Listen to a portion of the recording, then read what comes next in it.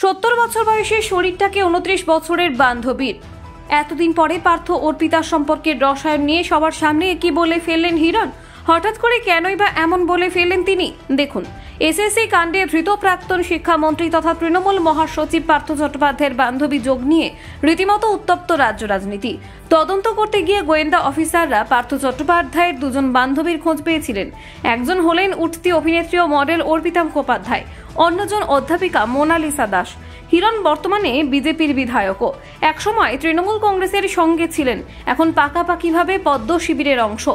শনিবার প্রকাশিত বিজেপির প্রার্থী তালিকায় নিজের নাম দেখে নিঃসন্দেহে খুশি হয়েছেন তিনি। বিধায়ক পদের পর এবার সাংসদ পদের লড়াই।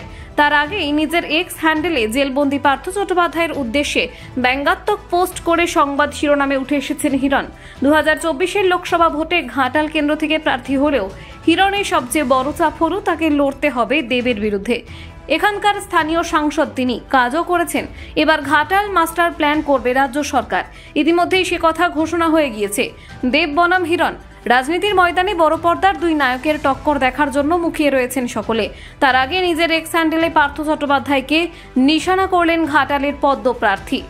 পার্থর একটি ছবি শেয়ার করে হিরণ লিখেছেন, আজ ঠিক উনিশ মাস ছয় দিন পূর্ণ হলো।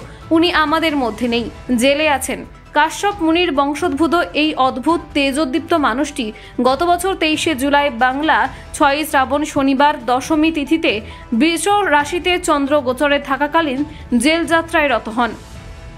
নিয়োগ কেলেঙ্কারির দায়ে বহুদিন জেলবন্দি বাংলার প্রাক্তন শিক্ষামন্ত্রী পার্থ চট্টোপাধ্যায়। জেলবন্দি রয়েছেন বান্ধবী অর্পিতাও। এবার লোকসভা নির্বাচনের আবহে পার্থ অর্পিতার রসায়ন নিয়ে শোরগোল ফেলা মন্তব্য করলেন বিজেপির হিরণ চট্টোপাধ্যায়। গতকালই প্রথম দফায় বিজেপির প্রার্থী তালিকা ঘোষণা করেছে গেরুয়া শিবির। ঘাটাল কেন্দ্রের পদ্ম প্রার্থী হিরণ আর প্রার্থী হিসেবে নির্বাচিত হতে রীতিমতো বোমা ফাটালেন তরুণ বিজেপি নেতা। নিয়োগ দুর্নীতি মামলায় জড়িয়ে গত প্রায় দেড় বছর ধরে জেলবন্দি পার্থ চট্টোপাধ্যায়। তাকে দল পদ মন্ত্রী থেকে তাকে সরিয়ে দিয়েছে। সেই পার্থকে নিশানা করে হিরণ লেখেন, কর্মবীর শব্দটি যেন ওনার কাছে এসে ম্লান হয়ে যায়।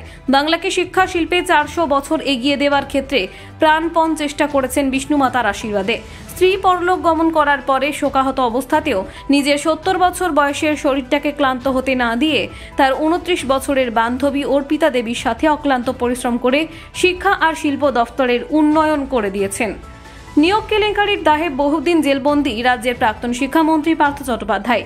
জেলবন্দি রয়েছেন বান্ধবী অর্পিতাও। এবার লোকসভা নির্বাচনের আবহে পার্থ অর্পিতার রসায়ন নিয়ে শোরগোল ফেলা মন্তব্য করলেন বিজেপির হিরণ চট্টোপাধ্যায়। গতকালই প্রথম দফায় বিজেপির প্রার্থী তালিকা ঘোষণা করেছে গেরুয়া শিবির। ঘাটাল কেন্দ্রে বদ্ধ প্রার্থী হিরণ আর প্রার্থী হিসেবে নির্বাচিত হতেই রীতিমতো বোমা ফাটালেন তরুণ বিজেপি নেতা। Bureau report, PS, Ananda Bangla.